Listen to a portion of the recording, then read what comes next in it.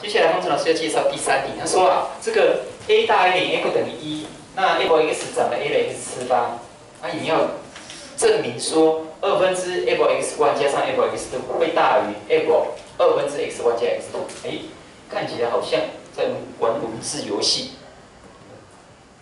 x one x two 除以二，x one x two 除以二，但是这些是在外面啊，这个是在里面，乖乖。好，到底在写什么？其实第一个你就是知道说，哎，f x 就长这个样子，那这些都跟 f x 有关。那什么叫 f x 长这样呢？就是说，如果我要求 f 二，那 f 二会等于多少？就把 x 代成二，所以是 a 的二次方。那现在不是二，而是 x one，所以 f x one 就是什么？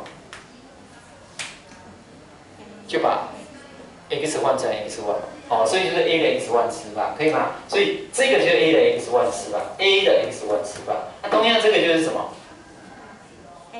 ？a 的 x 二次方，对不对？那相加我们一样就把它加起，是不是这样？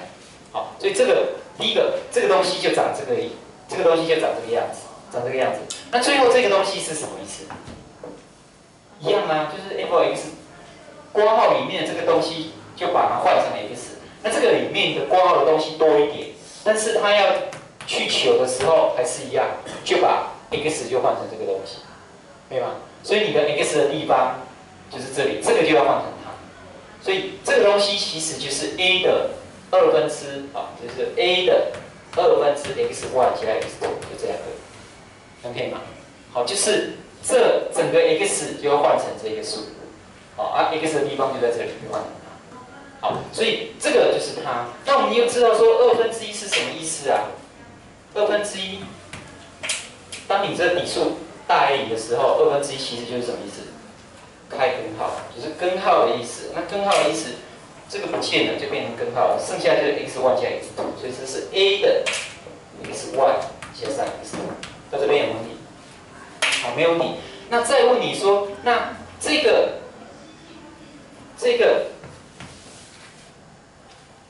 呃，指数相加其实是相乘，对不对？所以它其实是什么？只是两个相乘，就是 a 的 x one 乘上 a 的 x two，对吧？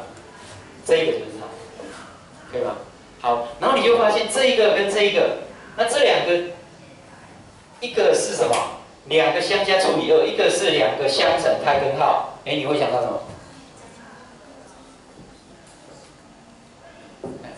算几不等式，对，算算数平均两个相加除以二，几几何平均两个相乘开根号，谁比较大？算术平均大于等于几何平均，对吧？好，那所以这个题目就是这样而已。这个左边这个就是它，右边这个就是它，也就是它，也就是它。那算术平均大于等于几何几何平均就结束了，OK 吗？好，所以。这个二分之这个等于它大于等于算术平，嗯，算术平均大于等于几何平均，这几何平均就是它，就是它，也就是我们的右边这个，就